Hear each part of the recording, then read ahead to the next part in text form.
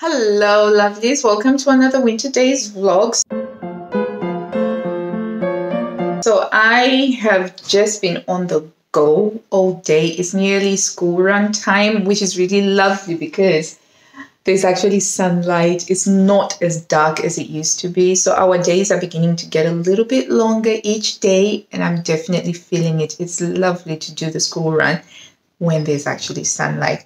But yeah, so today I had to pick up some bulk items that we had run out of, and I love shopping it. We have a Asian supermarket nearby that mainly caters to South Asian cuisine, so you can get like hundred different types of rices there, which is so awesome. And I really love to go there to um, shop for rice. And also, I can buy the rice in bulk. So sometimes I'll buy the 20 kg. Usually, I buy the 20 kilo uh, bags, and then I will decant into. I've got a plastic decanter thingy that I put into because it makes it easier and we eat a lot of rice um, basically. But this time around i decided to try something a little bit different. I wanted to try this extra long basmati rice because i thought oh i've never i've never heard of this before. I've never seen this before. And it was on special offer.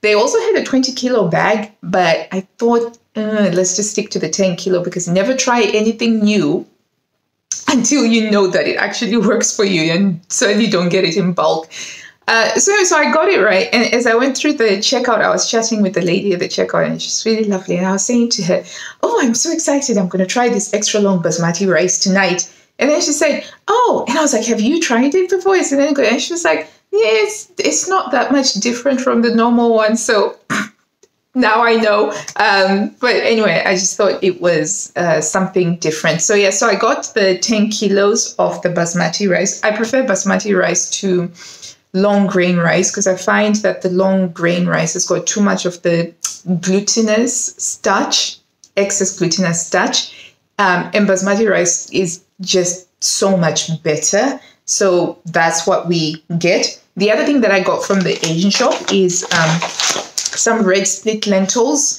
which I use this for my tomato and lentil soup, which is a family favorite. And it's a great one for even when we're hosting people over and we just have soup and bread. It's so easy to make and people really love it. And the key ingredient in there is the red split lentils. And so I buy these in bulk as well because it's a lot easier than having to constantly top it up.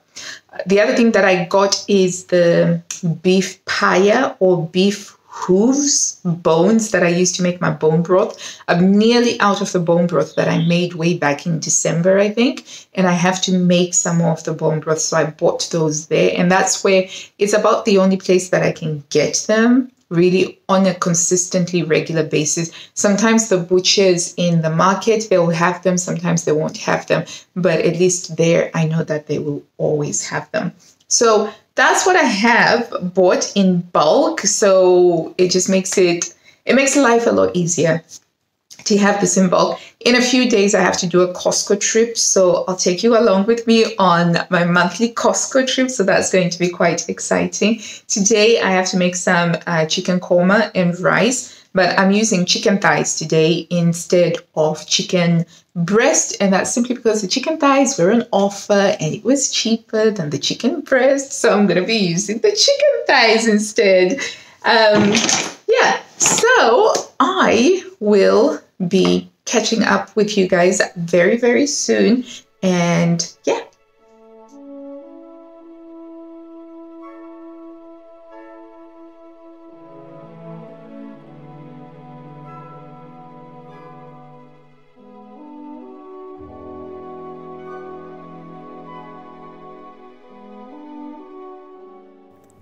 If you knock on my front door, chances are I'll greet you in an apron. They've become part of my uniform at home, so to speak. And even more than that, when I tie an apron on, whether it's in the morning or in the afternoon, it's like saying, okay, let's start this day, let's do this thing. And it is so empowering. An apron is to me what a cape is to Superman. I think there's a special power in wearing an apron.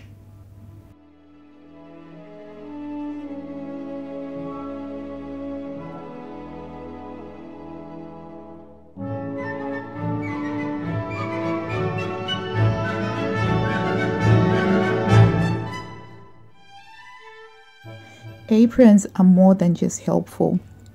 So, in aprons, most noteworthy quality is its helpfulness. It lives to serve. And an apron will unselfishly serve until it is threadbare and worn out. It protects us with literally every fiber of its being. They are like a magic shield, guarding us, the wearers, against the evil schmutzes and splatters of the world.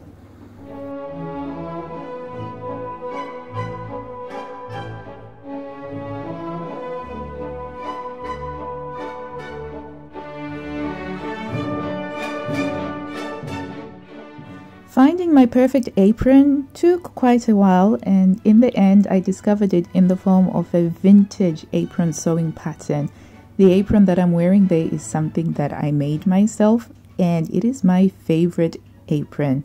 So, I think that the key to a really great apron is number one, the sash. I think it can only be described as a sash, it has to be just long enough to tie into a perfect bow at the small of my back and it has to have really deep pockets, preferably two nice deep pockets like this one has. And also, it needs to have enough coverage to protect my nice clothes.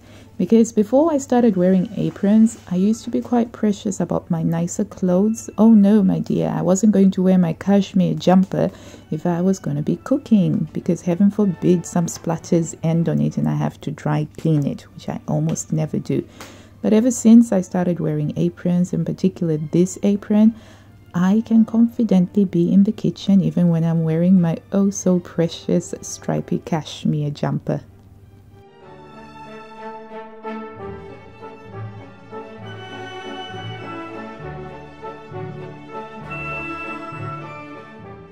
Now that I've finished my ode to aprons, let me tell you a little bit about what I'm doing here.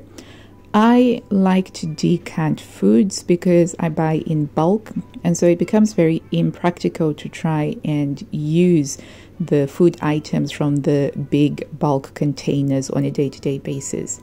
So, in all the years that I have been cooking, because I don't particularly enjoy food shopping, I buy in bulk as much as is possible. I have accumulated a collection of, some might call them gigantic uh, tubs that I keep things in. So, with the rice, particularly bas- basmati rice, you do want to keep it as airtight as possible. And you can tell there from the bag of the rice that it's very well packed in a foil lined, uh, vacuum sealed thing. So, I have decanted my rice into a big plastic tub, which then lives in an area of the kitchen that is cool and dry and dark. Same with the lentils as well. I don't like to use the lentils directly from the packet. I'll decant them into this smaller um, jar over here, this lidded jar, which I then will top up as and when is necessary. I use this really nifty little IKEA clips, which I find are very good at creating an airtight seal on whatever it is I need to uh, close off. And every time I go to IKEA, which is about once a year or once every two years, I definitely make sure to pick a pack of those.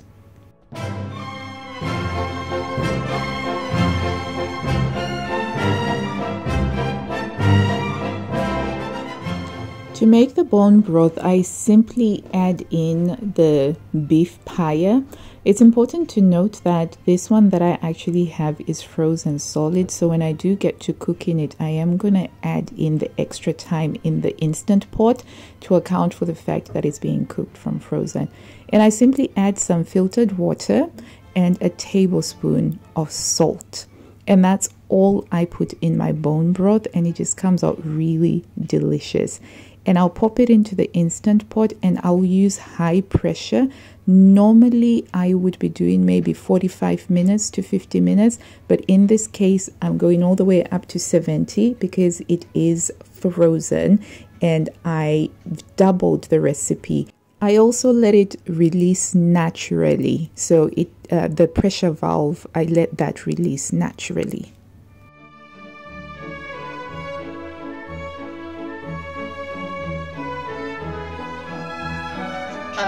So, whilst I'm doing the cooking, I also have to come in and check in on the laundry. Um, and so I thought this would be a good opportunity to give some feedback on these Lenor scent in wash scent boosters. So they're in this cardboard tube, just like a gigantic toilet roll, is what I see. And the, the pellets are, they, they look almost waxy, like little wax pellets. Uh, see if I can show you that. Yeah. And they've got a very strong fragrance for sure. I think for me, the most confusing part was basically remembering that they go into the drum because my natural tendency for anything that's sort of smelly, smells, you know, not smelly like bad smelly, but smelly to make everything smell nice, I will put it into the conditioner section of the drawer. So so that was that that took a while and actually several times my kids when they did the laundry because on a on a weekend they have to do their laundry it's part of my training them how to you know life skills of how to run a household how to look after a house yourself and a couple of times when they did their washes, they actually put the scent boosters into where the fabric softener would normally go, the fabric conditioner would normally go. But it didn't seem to impact the level of um, scenty, scentness. And yeah, I, I honestly didn't think it made a difference putting it in that drawer and putting it in the in the drum itself. So that was quite good. I'm not sure. They do leave a very strong, it's a very strong scent. And you know, when you're used to how your clothes, your clothes smell, changing that smell can be a little bit disconcerting. It can be just a little bit strange. Um, so it's a matter of whether I think it's a smell that we want going forward or not, but also looking at the cost of it because these ones were, I think they were on a special offer. Or do I keep them just for the. Um, the main reason that I actually bought them was for the boys' PE kits and their gym kits because when they get sweaty and they stink them up, they can stink real bad. and they've been really good for that. They've been really good for the uh, sweaty uh, things that needed to be descented. So it's a case of maybe trying to find. So this one is, it's a branded one. It's a Lenor brand. So I think I will try and investigate if I can find some that are off brand, so to speak, like supermarket on brand, because you know, they always do that stuff, don't they, where it works out uh, a lot cheaper. Oh, okay. I got my husband some Muppet socks because we love the Muppet Christmas Carol. They're so cute. Right, back to the kitchen now. So I have to get, so I've taken these ones out and I have to get another lot going into the dryer. But the laundry cycle is just throughout the day, there is laundry happening.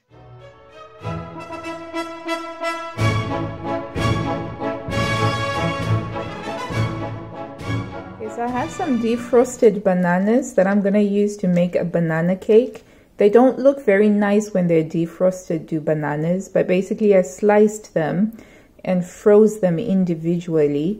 And the idea was to make smoothies for them, but that never happened. But this time they're going to be made into a banana cake. banana cake, we're going to need 200 grams of butter, 200 grams of soft brown sugar, 4 eggs, 200 grams of flour to which we'll add 1 teaspoon of baking powder, vanilla as an optional flavoring, and of course your pureed defrosted bananas. They don't look very nice, but they will taste really good. And obviously I've prepared a cake tin here. I'm using a square cake tin. And so I'm going to use the mixer. I start by creaming the butter and sugar using the mixer until they're very as light and as creamy as you can get it. And then I will add the eggs to it. And once I've added the eggs, I'll start slowly adding the flour in order to try and prevent the mixture from curdling too much.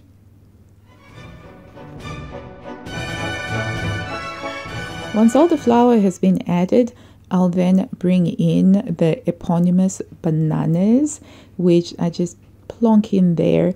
I didn't measure out how much of the banana puree I actually had. It, I just went by eye. I think it was around 150 grams. And at this point, you might need to add a bit more flour depending on how you like your cake batter. With this, I'm baking it at 160 degrees for 40 to 45 minutes.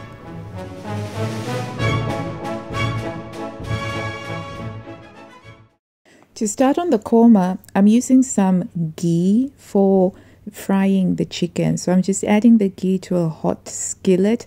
I prefer to use the cast iron skillet because I can get it really hot and with the ghee to a high smoking point so that I can sear the chicken thighs ready for cooking. I'm cooking the chicken thighs in batches because I've got two kilos. I'm making a huge batch because it's going to feed us for dinner as well as make some lunches for my husband and for my son for the rest of the week, packed lunches.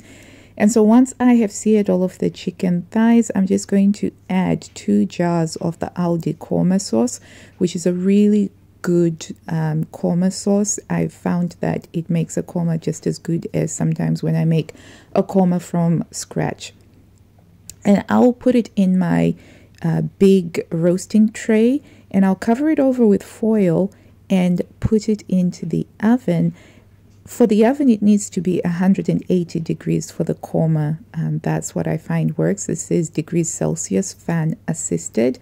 And I finished it at just the right time as the cake was coming out. So the banana cake was at 160 degrees. So as I was taking it out, I then had to walk the temperature up a further 20 degrees and the korma goes in for about 45 minutes. The cake came out beautifully. It smelled very bananary, and the kids were very happy to be coming home to a banana cake smell filled home. Cut it up into squares, and that was dessert. And it's also going to go into packed lunches for the rest of the week. The korma came out gorgeous and delicious as it always does, and the kids absolutely love this dish. And it's so easy to make, and it tastes even better the next day, frankly speaking. And so I was serving this up with some rice and some vegetables. But in the meantime, the bone broth had naturally released, and that's what it looks like. I will be showing you how I freeze this tomorrow in tomorrow's video. So, the question that you're all dying to know was the long grain basmati rice worth it? Well, much like the lovely lady at the checkout point said, it didn't taste that much different from the normal basmati rice. The only difference was the only difference was that it looks a little bit different because the grains are nearly twice as long as the normal basmati rice. But the kids also said they didn't notice that much of a difference, but they love this dish. So it's a plate cleaner, as I like to call it. The kids will eat the plates until they're completely clean without any promptings. So that's all I have for today. Thank you so much for visiting with us. And until I see you next time, I wish you blue skies, health, and happiness. Bye.